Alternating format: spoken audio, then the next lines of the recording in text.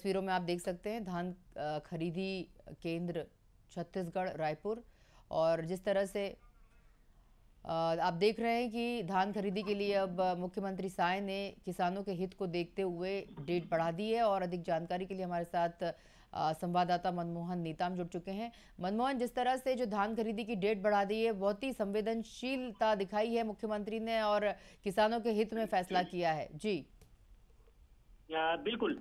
देखिए सनिशा छत्तीसगढ़ में समर्थन मूल्य में जो धान की खरीदी हो रही है, एक नवंबर से यह धान की खरीदी हो रही है और अंतिम जनवरी के अंतिम डेढ़ तक यह धान की खरीदी होनी थी। लेकिन किसानों के हित में मुख्यमंत्री विष्णुदेव साय ने एक बड़ा फैसला लिया है, बड़ा निर्णय लेते हुए किसानों को हित को देखते हुए अब चार फरवरी तक समर्थन मूल्य में धान की खरीदी होगी। देखिए छत्तीसगढ़ में रिकॉर्ड तोड़ जो धान की खरीदी हो रही है और लगातार किसान धान बेच रहे हैं और प्रति एक, एकड़ इक्कीस सौ रुपये के दर से चार फरवरी तक धान की खरीदी होगी। लेकिन सबसे महत्वपूर्ण बात यह है सनीसा कि अब तक किसानों को इकतीस सौ रुपये के दर से धान का जो मूल्य है वह उसका जो भुगतान है वह नहीं हो रहा है।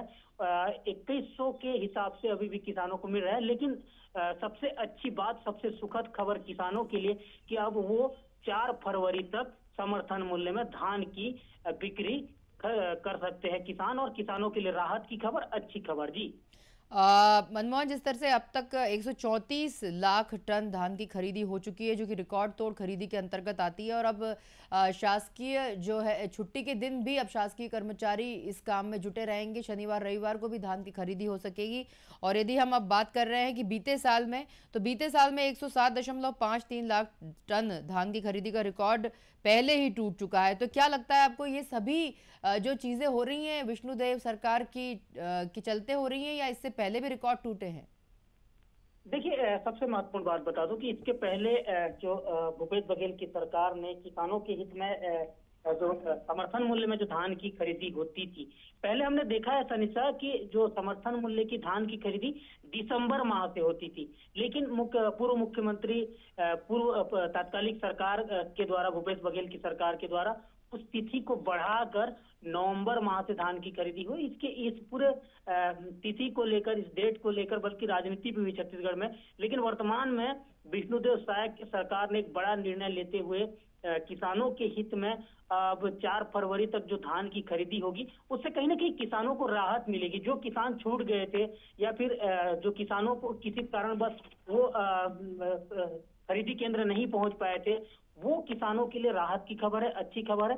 देखिए प्रदेश में अब तक एक लाख मीट्रिक टन धान की खरीदी हो चुकी है। मतलब विष्णुदेव साय का सरकार का मंशा यह है कि किसानों को किसी भी तरीके से कोई परेशानी ना हो, कोई दिक्कत ना हो, और इसे लेकर इस तरीके का जो निर्णय लिया गया है, देर शाम कल यह निर्णय आया है और मुख्यमंत्री विष्णुदेव साय के इस निर्णय से किसानों को भी राहत मिलेगी और किसानों में खुशी भी है। जी।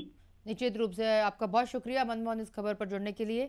बता दें कि प्रदेश में समर्थन मूल्य पर धान खरीदी के लिए अभी दो दिन और बाकी है। प्रतिदिन औसतन साढ़े तीन लाख टन धान की खरीदी हो रही है और इस साल धान खरीदी की मात्रा 140 लाख टन के पार होने की उम्मीद है। राज्य में इस साल प्रधानमंत्री नरेंद्र मोदी की गारंटी का परिपालन सुनिश्चित करते हुए किसानों से प्रति एकड़ के मान से 21 क्विंटल धान की खरीदी की जा रही है। बता दें आपको, छब्बीस लाख पिचासी हज़ार किसानों ने अपना पंजीयन कराया है।